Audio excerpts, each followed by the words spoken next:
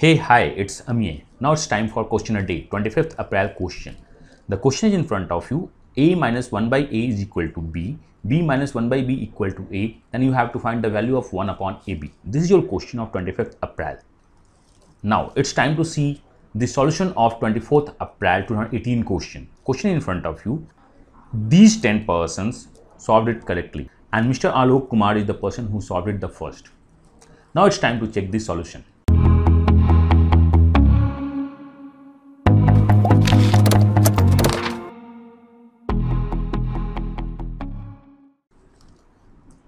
And this one is the easiest question I have ever posted on a question a day. We know the radius of this one is nothing but 1. So we can say this one is the 1 and here is also the 1. So we can say the total radius of the bigger circle is nothing but 3 and the smaller radius is nothing but 1. We have to find the area of the red portion. So we can say the red portion is nothing but the bigger circle minus a smaller circle into 7 times. How comes? Because we have a 7 such circles.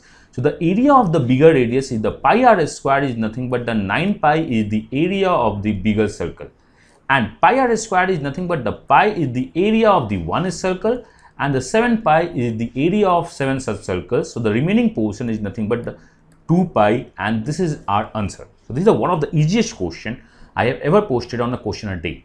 So you have to solve today's question which one is nothing but you need to find 1 upon AB if you have this condition. I hope this one is clear.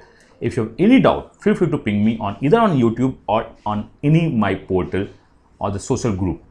Okay, thanks, bye, and happy learning. Hi guys, do subscribe our channel and hit the bell icon to never miss out any update.